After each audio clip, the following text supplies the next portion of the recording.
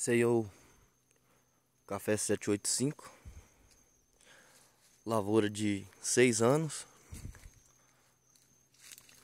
Tratada de forma agroecológica, tá?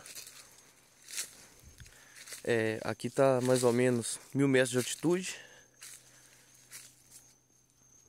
Café quase que orgânico.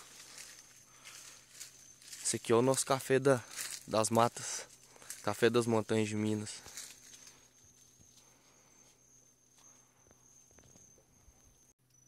A lavoura me impressionou bastante por eu não usar agrotóxico.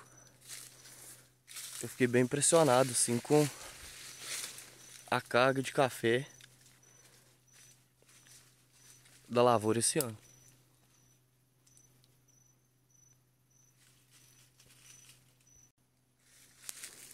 Então é isso.